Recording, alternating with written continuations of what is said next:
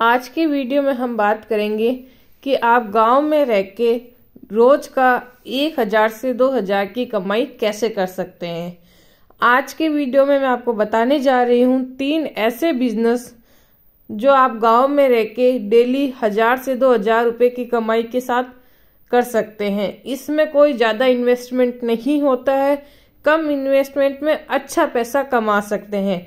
तो ये तीन बिज़नेस क्या है, इसको जानने के लिए पूरा वीडियो ध्यान से देखिएगा। अगर आप कहीं पे स्किप कर देते हैं तो आपको वो चीज़ समझ में नहीं आती है। तो शुरू करते हैं। पहला बिज़नेस आइडिया है पानी पूरी का बिज़नेस पानी पूरी के दो या पिचके के दो या गोलगप्पे के दो, इसको हर कोई खाना पसंद करता है, चाहे छोटे बच्चा हो, चाहे जवान आदमी हो, चाहे बूढ़े हो। हर इंसान को पानी पूरी पसंद है। और इसमें सबसे सस्ता मटेरियल लगता है धनिया, पुदीना पिच के आप घर से बना सकते हैं, और आलू, प्याज। कम इन्वेस्टमेंट में अच्छा पैसा कमा सकते हैं। अगर आप पानी पूरी की रेडी बस स्टैंड के, गाँव के बस स्टैंड के पास या गाँव में लगाते हैं तो बहुत अच्छा पैसा कमा सकते हैं। इसमें ज़्यादा इन्वेस्ट पैसा कैसे कमाएँ? इसकी एक ट्रिक बताती हूँ। जैसे पूरे दिन में तो आप अपनी रेडी को गाँव में घुमाओ। और जैसे बसों के टाइम का होता है या शाम के टाइम गैदरिंग बसों के साथ, बस स्टैंड पे इन साइड में ज़्यादा होती है, वहाँ पे फिर अपनी रेडी खड़ी करो।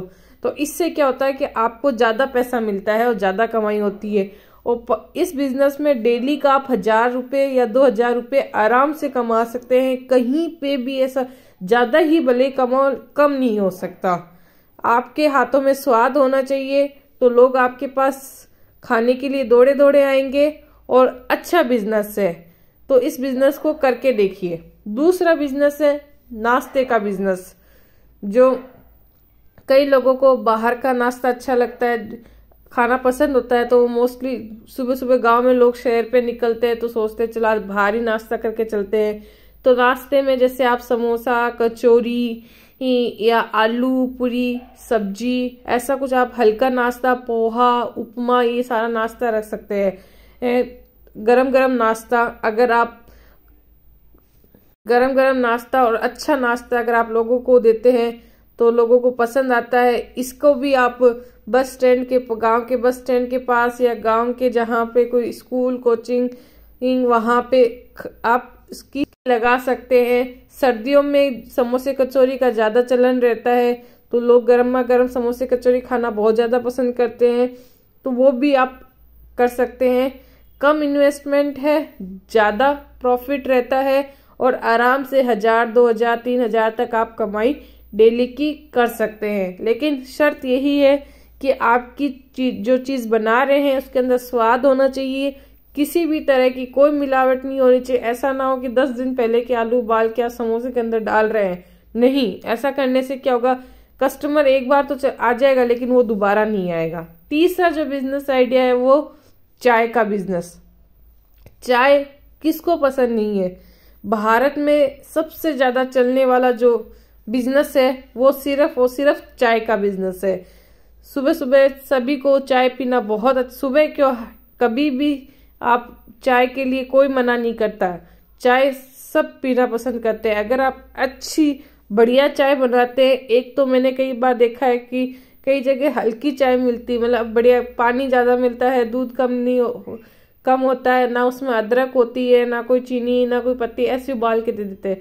पर उसमें क्या होता है कि कस्टमर एक बार तो उसको पता नहीं होता तो वो पी लेता है।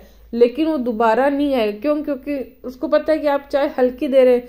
अगर आप यही बढ़िया चाय अपने कस्टमर को देते हैं तो अगर वो वहाँ से जितनी बार भी निकलेगा तो वो ज़रूर सोचेगा कि हाँ ये चाय बहुत बढ़िया देता है, इसकी चाय पी के अपन ज़रूर जाएँगे।